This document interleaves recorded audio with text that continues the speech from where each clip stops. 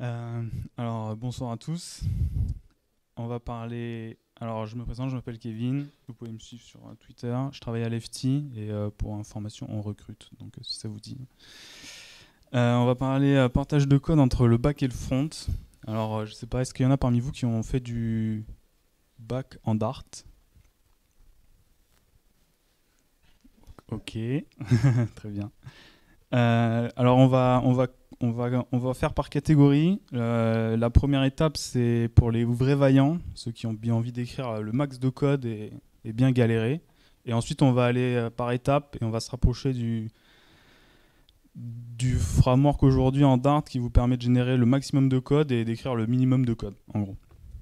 Alors, déjà, quand on parle de partage de code entre les deux, qu'est-ce qu'on peut partager? Alors on peut partager les modèles, ça paraît logique, euh, entre ce que vous allez envoyer du back et ce que vous allez recevoir sur votre front. Vous pouvez partager le network, ça c'est côté euh, les, les, fronts, plusieurs, si vous avez différents fronts. Et on peut peut-être partager plus, euh, ça on va le voir après. Donc ça, la manière manuelle, c'est ce que je disais, c'est la première étape, c'est maximum d'écriture, minimum, maximum de galérage. Alors on a le manuel, vous allez utiliser la Dartio direct. Euh, là, vous, avez, vous faites un listen sur un socket et, euh, vous vous amusez. Vous faites vous-même les routes. Ça peut être un peu long et un peu compliqué. Euh, après, vous avez Shelf. Alors Shelf, c'est un framework qui est fourni par la Dart Team. Et en gros, ça wrap juste les requests et les réponses de, de Dartio. Et ça vous rajoute aussi au passage un pipeline pour quand vous recevez une requête, ça va passer dans le pipeline. Et ensuite, vous avez dans le pipeline, vous pouvez ajouter des middleware. Donc en gros, ça va wrapper votre, euh, votre, votre endpoint. Et ensuite, vous avez votre handler qui correspond à votre, à votre endpoint en vrai. Euh, alors là, j'ai mis des exemples histoire d'avoir une idée de à quoi ça peut ressembler. J'ai pris les exemples qui sont fournis par les frameworks en général. Donc comme euh, là on peut le voir, on a en gros on a un handler qui est constitué d'un pipeline, on ajoute un middleware qui est le logger, et ensuite euh, on fait un écho de la request. Donc c'est vraiment ultra basique, il n'y a vraiment pas grand chose euh, là-dessus, et ça wrap juste euh, le minimum légal en gros. Ensuite on a Jaguar, donc là c'est un framework qui est annotation based, un peu comme beaucoup de choses en Dart en fait. Tout ce qui est sérialisation en général c'est aussi annotation based. Euh, là, vous allez avoir euh, plus de possibilités. En l'occurrence, tout le routing, euh, normalement, il est déjà fait. Enfin, vous, avez juste à mettre get et, ou post et ça va vous amener directement sur la, bonne route. Là, par exemple, on a donc un contrôleur, on lui passe un get et on voit que, par exemple, si on prend le premier, la version, ça retourne un double et ça s'occupe de tout tout seul. Il n'y a pas grand-chose à faire. Euh, vous avez juste à implémenter vos endpoints, encore qu'il faut écrire euh, ben, le contrôleur, le get et, le path et, toutes ces choses. Il faut aussi écrire le main. Bon, ça, ça sera partout pareil de toute manière. Là, on n'a pas trop le choix. Ensuite, on a Angel. Alors, Angel, c'est un framework qui ressemble un peu à Express euh, côté Node. c'est exactement pareil, j'ai envie de dire presque, un peu de choses près. On crée une app Ensuite, on fait un get, un post ou euh, whatever. On lui passe un path et ensuite on a un, callback qui va être appelé quand, quand on va aller sur la bonne route. Ensuite, côté sérialisation, alors là, pareil, on a la manière manuelle. Et là, on en a plein, plein, plein, parce qu'il y a eu une période dans Dart, tout le monde faisait des serialisers, parce que ça n'existait pas. Donc, euh, il y en a une, myriade. Donc là, j'ai mis trois exemples. Euh, JSON Serializer, qui est fait par la Dart Team. Euh, en gros, on crée un modèle et on va être obligé de le, de le, comment dire, euh, de le rendre impur entre guillemets, parce qu'on va être obligé d'annoter euh, les fields de notre modèle. Donc, on aura un modèle qu'on va pas forcément, qu'on pourra réutiliser partout, car en général, les annotations, elles sont non framework dépendants, donc il n'y aura pas spécialement de problème. Enfin, ça sera pas dépendant de IO, de Flutter ou du web. Mais euh, ça peut être un peu gênant, par exemple, euh, si vous voulez importer un, modèle qui est autogénéré de ailleurs, par exemple de, Swagger ou quoi que ce soit. Et eh ben euh, là, pour le coup, il faudra modifier le, modèle généré, donc c'est un, peu, un peu pas top des fois. ensuite, on a Jaguar Serializer qui est fait par les mecs de Jaguar. Alors là, c'est pas le même principe. vous allez avoir votre classe qui sera donc pas modifiée, donc vous allez avoir vos fields, tout ce qu'il y a de plus normal. Et par contre, vous allez écrire vos serializers séparément. donc en gros, vous, vous dites je voudrais générer un serializer pour le serializer pour Là, je fais un serializer pour player. Il est en serializer. Ça englobe une classe, la classe player qui est juste au-dessus. Et euh, en gros, il y a un, bout qui sera généré automatiquement par un, par un build runner. Et c'est cette partie-là qui va en gros nous permettre de, créer des variables, euh, des méthodes, pardon, euh, qui permettront de générer automatiquement le, truc pour nous. donc ça, ça peut être pas mal si vous n'avez pas envie de modifier vos, vos, modèles. Et ensuite, on a build value euh, qui est fait par un mec euh, de la Dart Team, mais c'est pas affilié à la Dart Team. Par contre, c'est sur les repos euh, Google de GitHub. Et ça, pour le coup, c'est un framework. Alors, l'exemple, il est un peu plus compliqué, donc j'ai pas tout mis. Mais en gros, le principe, c'est que c'est un serializer qui est immutable entièrement. Donc, quand vous allez créer un, vous allez créer votre modèle, et en fait, vous allez le serialiser la première fois, et si vous le voulez modifier, vous pouvez pas. Vous pouvez pas dire je veux modifier ce morceau, enfin ce fil là et je veux mettre cette valeur là dedans. Euh, vous êtes obligé de euh, d'avoir. alors il y a des helpers pour ça, mais en gros vous avez un builder euh, sur votre modèle qui va vous permettre de modifier la valeur de, du modèle en fait. Je vais essayer de trouver un exemple qui est à peu près pas mal. par exemple, si on va dans value, il me semble qu'il y en a des biens. Voilà, en gros, on a donc là on peut le voir, on a une simple valeur qui prend qui a, euh, qui a un field qui est euh, un int et euh, un string et en gros quand on veut créer notre notre notre modèle, en gros, il prend un, une méthode qui va une fonction qui un callback qui va permettre de rebuild le modèle et donc en fait, c'est dans ce callback là qu'on va récupérer euh, la valeur currente du modèle et si on veut la modifier, on va récupérer cette valeur-là et la modifier. Et en gros, ça nous retourne un nouveau modèle. Donc c'est un, peu, ça peut être un peu, il y a beaucoup à écrire en général quand on utilise euh, value, mais ça peut être pas mal si vous voulez absolument euh, être sûr d'avoir un truc qui est immutable. Ensuite le network. alors là on a, on a Pareil, vous pouvez écrire votre, vos appels à, votre API à la main. Euh, c'est un peu compliqué. Vous allez devoir gérer toutes les erreurs. Et, et donc, ça peut être un peu, un peu pas sympathique. Et sinon, vous avez des, des, des, librairies, genre par exemple Chopper, qui est fait par euh, mon collègue là-bas au fond. Où là, vous avez juste à écrire euh, une classe abstraite euh, qui définit bah, euh, le nom du service, une URL de base, ensuite get, vous passez les paramètres et vous avez juste à écrire le nom de votre fonction et ensuite tout le reste, ça va être fait tout seul et ça vous retournera votre, le modèle que vous avez mis qui, devait retourner là. Pour le coup, ça retourne des réponses. ensuite, on a Jaguar Retrofit qui est fait par les mecs de Jaguar. Et là, c'est exactement le même principe. Hein. c'est pas, c'est pareil. On fait euh, pareil. Euh, on définit euh, la base et ensuite on put, post, get et ça sérialise automatiquement et ça et ça désérialise aussi quand vous récupérez votre réponse. Donc la conclusion de, cette partie, c'est que il y a très peu de partage de code en dehors des modèles et des serialisers et la partie network sera partagée si dans le cas où vous, avez une API HTTP WS et si vous avez des sockets, c'est pas possible. Ensuite, côté backend, on peut utiliser OpenAPI. Je ne sais pas s'il y en a qui connaissent. Euh, ça s'utilise pas mal en Node. Ou équivalent. Alors je mets équivalent parce que euh, chez Google, ils ont un truc qui s'appelle Discovery Document. Et en l'occurrence, il y a un framework en Dart qui s'en sert. Donc pour la partie OpenAPI, on a Aqueduc euh, alors Aqueduct c'est fait par, euh, par une entreprise qui s'appelle Stable Kernel et c'est plus euh, plus gros comme framework de base et c'est légèrement plus compliqué pour faire un minimum de choses. Après, vous pouvez automatiquement générer tout ce qui est génération du client. Donc ça, ça peut être pratique. donc là, pour le coup, il faut écrire pas mal de code pour, pour avoir quelque chose. Mais euh, il y a cet avantage que ça crée automatiquement le client. Et ensuite, on a RPC qui est fait donc par euh, la Dart Team encore une fois. Et là, bon, on a deux exemples. On a l'exemple avec euh, IO, donc là, ça sera avec Dart.io simplement. Et on a un exemple avec Shelf qui, qui utilisera donc Shelf dessous. On n'a pas le truc, ça va pas. Alors, c'est annotation based comme Jaguar.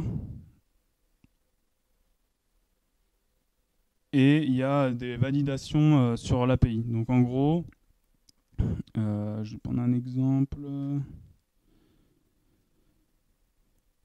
API ressources, voilà, API property. Donc là, on a une request. En gros, on va lui passer. Donc il va prendre un paramètre des, des requests et en sortie, on va lui donner des réponses. Donc là, pour le, par, exemple, il prend un toy request, il a un nom et il est requis. Donc ça veut dire que si on ne le met pas, il va automatiquement nous dire attention, là il y a un problème. Euh, L'API va automatiquement retourner une erreur en disant euh, c'est pas possible, tu m'as dit que c'était requis et tu l'as pas mis. Donc euh, ça va pas. Ça, il va le faire, il va faire, il va gérer l'erreur côté serveur, mais il va aussi le mettre dans le client. Si vous mettez pas le name dans votre client, il va vous dire c'est pas possible. Donc ça, ça peut être pas mal. Euh, et donc, comme je disais, c'est annotation based. Donc, euh, si vous voulez rajouter, euh, vous avez des, une API classe au départ, et après vous avez des API ressources pour ajouter d'autres API classes. En gros, c'est un peu, ça tourne en boucle, quoi.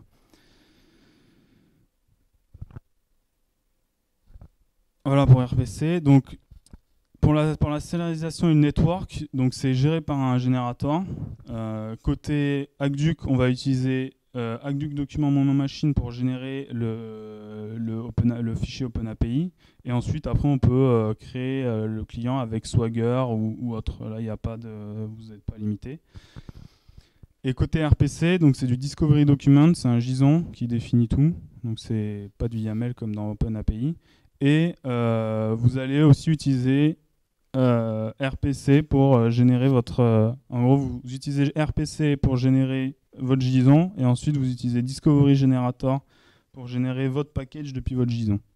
Voilà. Pas facile. Donc là c'est pas mal parce qu'il y a juste à écrire le serveur et après le reste il se fait tout seul. Vous n'avez plus qu'à mettre euh, à plug euh, votre, euh, votre client, enfin votre librairie client dans votre, dans votre app et normalement vous n'aurez pas de problème. Alors il y a un petit hic c'est que la dernière version de RPC, elle marche pas avec Dart, la dernière version de Dart. Donc, il euh, va falloir attendre un peu que le bug soit fixé. C'est à cause des mirrors, il y a eu une modification et du coup, ben, ça marche plus. Mais si on vient à une version, si je me dis pas de bêtises, là, 2.1 dev 7 par là, ça devrait marcher, ça doit marcher. Ensuite, en dernier, on a RPC. Alors, je sais pas, est-ce qu'il y en a certains qui connaissent RPC, gRPC Oula, il y a du monde. Incroyable. Vous en avez déjà fait? Vous en utilisez euh, tous les jours ou? Cool.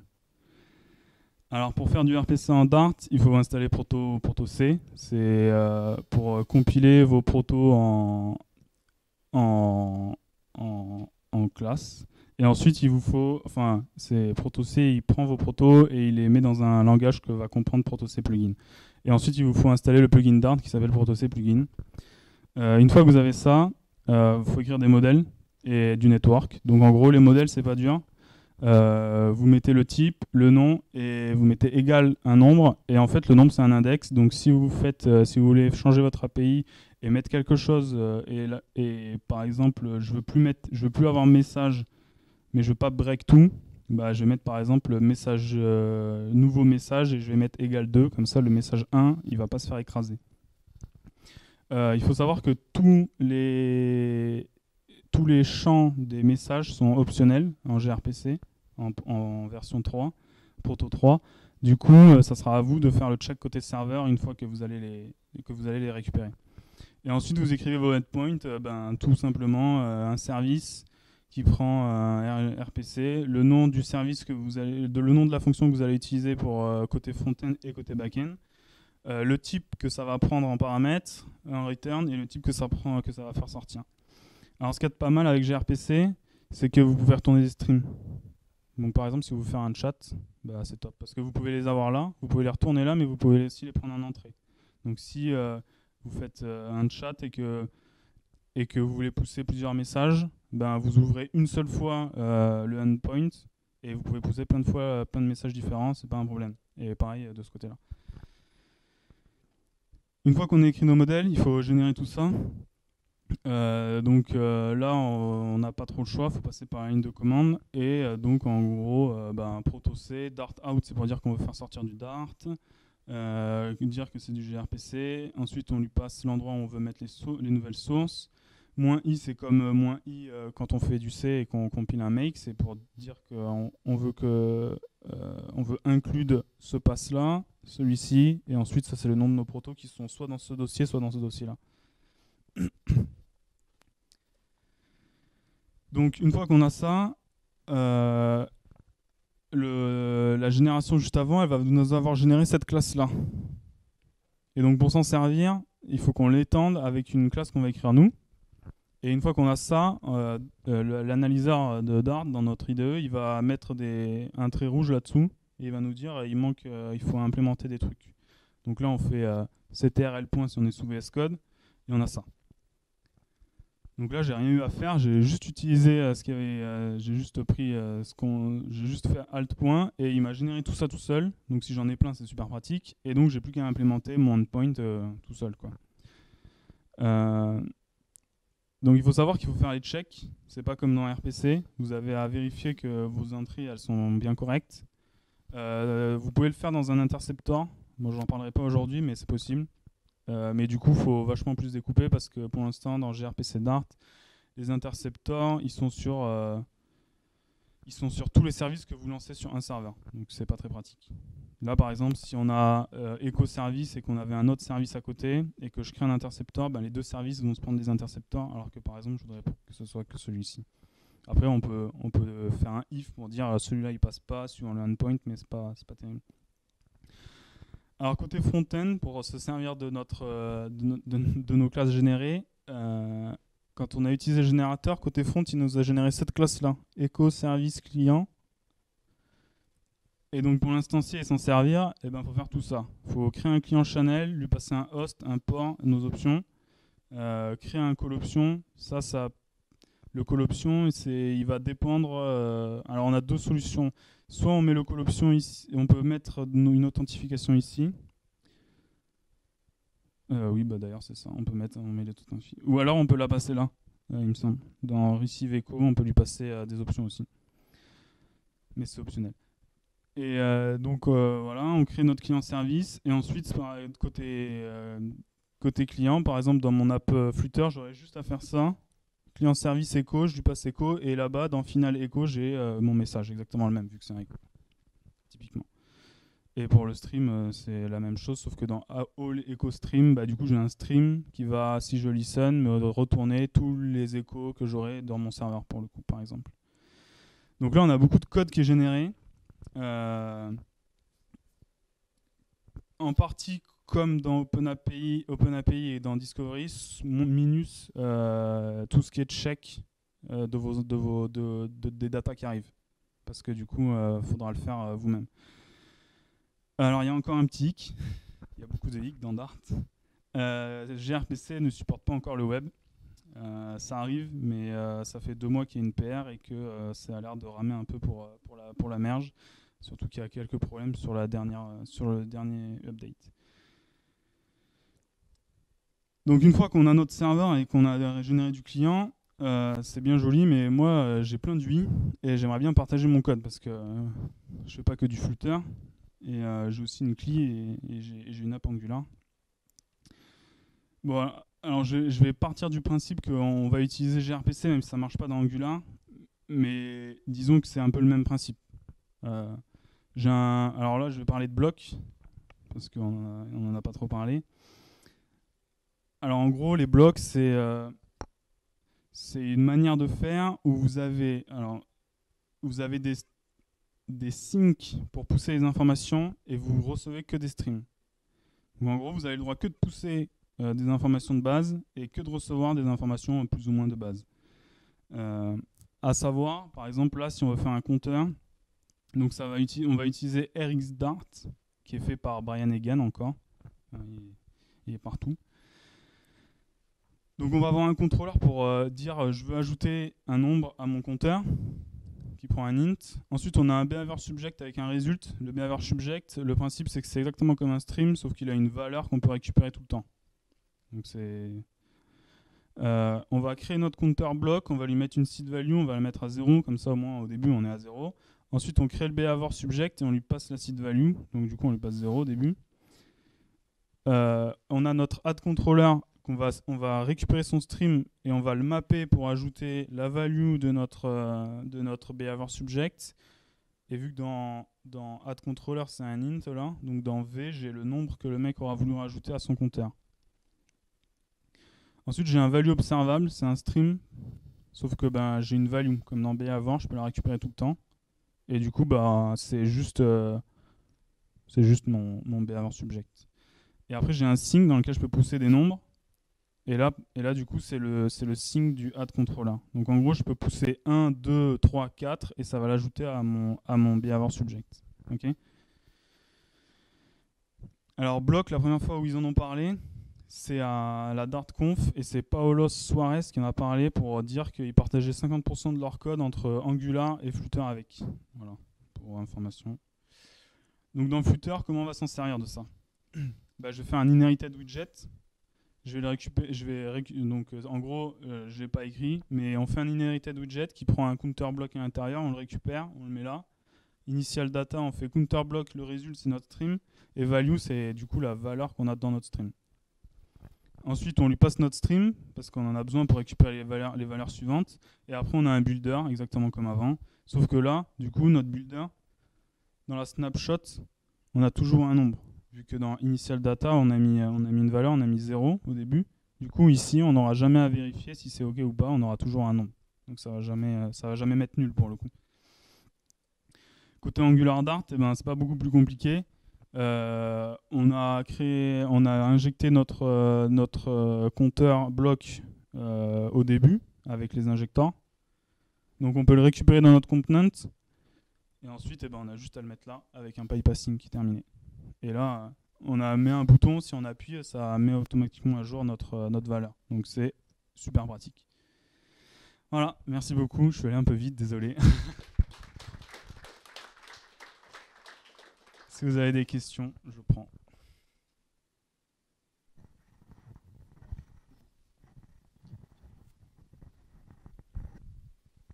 Ouais, bonjour. Euh, la dernière fois je m'étais intéressé à Dart côté serveur, un truc qui m'avait bien plu, c'était l'approche orientée euh, acteur. Je voulais savoir où ça en était. C'était toujours d'actualité ou pas C'était il y a très longtemps. Euh, les isolates, ce qu'on appelle les isolates. Ah ouais, alors les isolates, tu les as encore, ouais et les frameworks web là, qui sont que, dont tu as parlé, ils utilisent ce genre d'approche ou c'est plus un, modèle Node? Alors dans Aqueduct, tu l'as de base.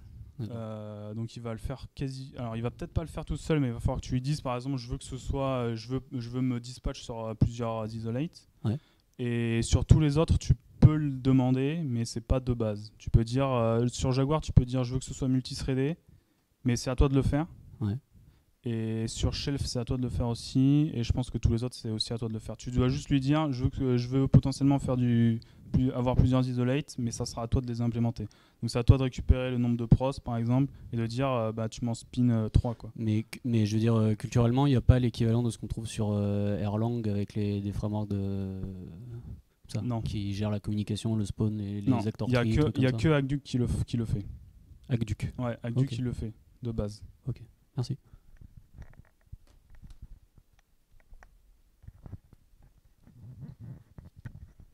Merci pour la presse. Euh, je voulais savoir, parce que je suis en train de mettre en place euh, une solution full stack euh, Dart, donc avec Flutter, avec Angular Dart et avec notamment Aqueduct. Mhm. Parce que je crois qu'il n'y a pas beaucoup de framework. Il y a Angel, mais le gars il est tout seul dans son coin. Et il y a, y a Aqueduct où c'est une entreprise, donc j'ai pris plutôt ça. Je voulais savoir si tu utilises Aqueduct, c'est quoi les performances Est-ce qu'il est suffisamment euh, stable et suffisamment scalable pour des choses qui va monter en, en, charge. Et je voulais savoir si euh, gRPC, est-ce qu'on a le moyen de fonctionner avec Angular Dart, avec le web? Voilà. Alors, Agduc, ça doit être le framework le plus stable côté serveur, concrètement aujourd'hui. Euh, si on enlève gRPC peut-être, et encore, gRPC, c'est assez jeune, donc il euh, faut pas avoir trop peur quand même d'avoir quelques petits problèmes. Tu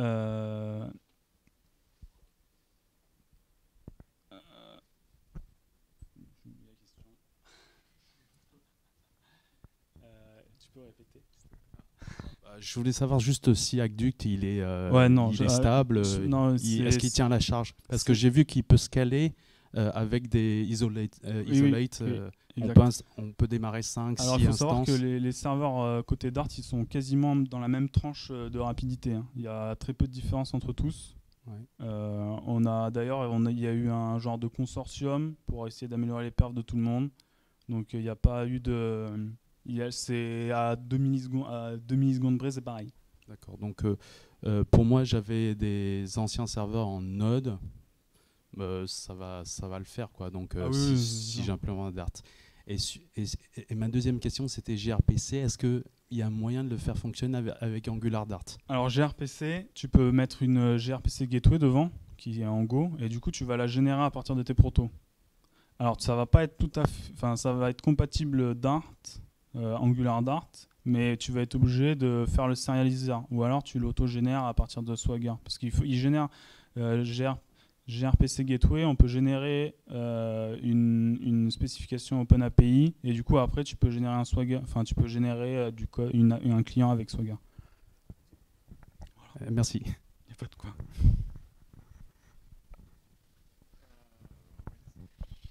Euh, et du coup, euh, à si vous faites du, co- du Dart côté back, vous utilisez quoi actuellement? À FT, on fait pas de Dart côté bac. Mais personnellement, je fais, du je fais pas mal de gRPC et je faisais. Je, je dis je faisais parce que j'en fais plus trop. Je faisais partie de la team euh, qui développe Jaguar. Voilà. Plus de questions?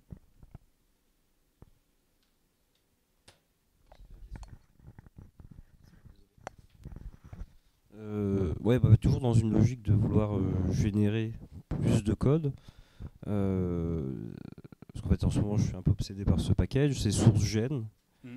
Est-ce que dans le cas de- du développement de ton application, tu pourrais pas te servir notamment de SourceGen pour, par exemple, peut-être euh, euh, générer les blocs si tu as déjà tes modèles ou ce genre de choses? Alors le, le- le problème du bloc, c'est qu'il va être euh, techniquement, il va contenir ton, ton business. Donc tu peux, enfin tu pourras générer peut-être une partie du bloc, mais tu pourras pas tout générer non plus quoi. Si ton modèle a des annotations, par exemple, qui pourraient faire comprendre que, ce truc serait un input de stream et, que cette méthode serait un output, en fait, tout simplement. Oui, on, pourrait, on pourrait, mais pour moi, il n'y a pas de, en fait, on- disons qu'on peut générer un- une, base d'un bloc qui pourrait être utile pour, euh, pour commencer et, ensuite par-dessus rajouter quelque chose. Parce que le business, tu pourras pas l'annoter, euh, c'est pas possible. Par exemple, euh, je sais pas si, je vais prendre un exemple qu'on fait euh, à Lefty. Euh, on, a une liste, on, vient d'un- d'une recherche d'influenceurs, on en sélectionne plusieurs, on veut les aj- les ajouter dans une campagne. Et ben, tu es d'accord que là, je vais lui dire, je pousse 5 influenceurs, tu me les mets dans cette campagne-là. Enfin, ça devient vite compliqué de dire, je peux lui dire, tu prends une liste d'influenceurs et une campagne, mais tu peux pas lui dire, tu vas les mettre tout seul dans la bonne campagne. Quoi. Il est plutôt là le problème. Et du coup, en fait, c'est vraiment, c'est vraiment ça. C'est sur bloc, c'est sûr, on pourrait améliorer le, principe. Il y, a plein de choses à faire, c'est certain. Euh, à Lefty, on a, on a des helpers qui nous font, des, par exemple, tout ce qui est requête HTTP, ils nous les transforment en blocs avec un loading, ce genre de choses. Mais, euh, mais, mais le corps de bloc, c'est le business en fait. C'est de séparer le business de ta vue en fait. C'est surtout ça le principe. Après, euh, que ce soit qu'il y, y ait plusieurs layers pour récupérer les streams et tout, c'est un autre problème. Enfin, ça marchait bien avec l'app euh, Counter. euh. Oui, avec la Contin, ça marche bien, mais c'est un peu petit. D'autres questions? De toute façon, on attend les pizzas. Alors, euh, voilà, est-ce que c'est pertinent de faire full Dart? Là, c'est en fait, euh, là, je, je propose quelque chose de nouveau euh, à, ma boîte, mais je ne sais pas si c'est viable. C'est-à-dire que moi, mon argument, c'est on va pouvoir réutiliser genre euh, 30-50% du code, mais sur du mobile, sur le web et sur le back. Donc c'est intéressant. Est-ce que c'est pertinent? Euh, Non, je, je sais pas. Là, ça fait un mois que je fais du, du, du Dart Flutter, mais est-ce que c'est. Bah, c'est un gain de temps. Si on peut partager du code et que ça peut être, et que ça peut être bien fait, c'est forcément un gain de temps. Donc pertinent en termes d'argent, ça sera forcément pertinent. Après, est-ce que c'est vraiment utile Euh, Après, il y a plein de choses qui se font en Node, par exemple, qui sont très bien. Il y a plein de choses qui se font dans tout un tas d'autres langages, en Go, en Rust, qui sont, qui sont aussi très bien. Voilà. Euh, on n'aura pas forcément. S'il y a vraiment besoin de performance, c'est peut-être pas pertinent de faire un serveur en Dart. Il vaut Oui, peut-être euh, mieux partir sur du Go ou Non, du moi, Rust. je suis, quoi. moi, je suis gopher, mais, mais bon, c'est juste que le fait de, de faire full Dart, bah, on peut, on peut, bah, on peut collaborer plein de gens autour de moi sur un seul langage. Donc euh, c'est le, c'est le idéal full, euh, full stack en fait. Après, après, faut savoir que Dart, comme, comme il compile en JS, tu peux aussi, par exemple, faire du Firebase en Dart notamment.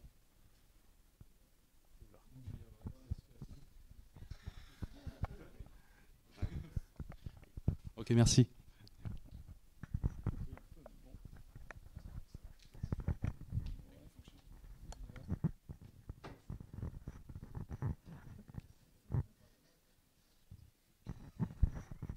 Euh, Vous avez d'autres questions?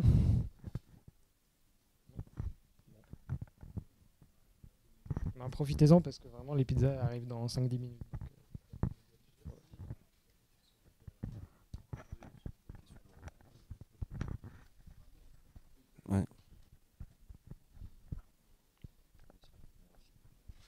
Non, une question un peu drôle. Tu vas donc continuer à stream sur Twitch euh Ouais, je vais, essayer, je vais essayer de finir mon app parce que euh, j'ai toujours. Je, Je crois qu'elle était finie sur Twitch ou pas encore? Non, Non, ah il non, reste non. une, deux, trois. non. Ah, il en reste beaucoup même. J'ai même pas fini le bac donc euh, Mais ouais. tu vas continuer alors. oui, c'est prévu. Il faut juste que j'ai un peu de temps, mais normalement c'est prévu. Peut-être tu pourrais expliquer qu'est-ce que tu fais justement sur tout. Ah, alors euh, sur Twitch, je fais une euh, boring to-do app. voilà. En gros, c'est une to-do app et elle est euh, full stack Dart, gRPC, euh, Flutter et quand il y aura le support euh, Angular Dart, je ferai aussi une version web. Voilà. Avec test unitaire et tout ça, bien entendu. Sinon, c'est pas drôle.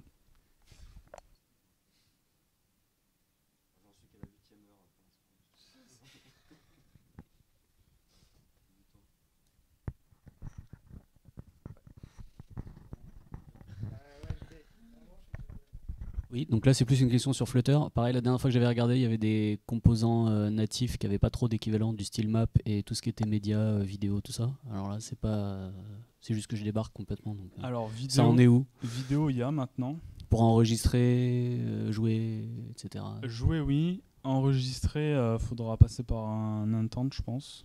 Je suis pas sûr. Et par contre, Map et WebView, WebView, il y a un plugin. Euh, et Map, euh, je crois que c'est en cours, mais Map, de ce que je me rappelle, ils voulaient recoder euh, tout un bout de truc pour streamer les. ouais, mais enfin, ça a l'air d'être un peu la guerre. C'était il y a longtemps quoi. Ouais, mais c'est encore la guerre. C'est toujours Enfin, pas d'accord. La dernière fois que j'ai essayé la map, c'était il y a un mois par là. On pouvait faire pop une map, mais c'était un overlay. Ouais non. ouais. Et euh, mais ça s'intégrait pas trop mal. Mais Oui non, mais si on veut mettre des trucs sur la carte, après ça devient. On peut dessiner dessus. Ah oui d'accord. Ok. Si, si, ça on peut par contre. J'avais dessiné, euh, j'avais fait un truc qui change de couleur en fonction de la vitesse à laquelle je me déplace. Donc ça c'est faisable, mais, euh, mais voilà. Et en- ça c'était complètement flotteur. hein. Ouais. D'accord. Ah oui d'accord. Donc ça fait ça quand même. Ok. Merci.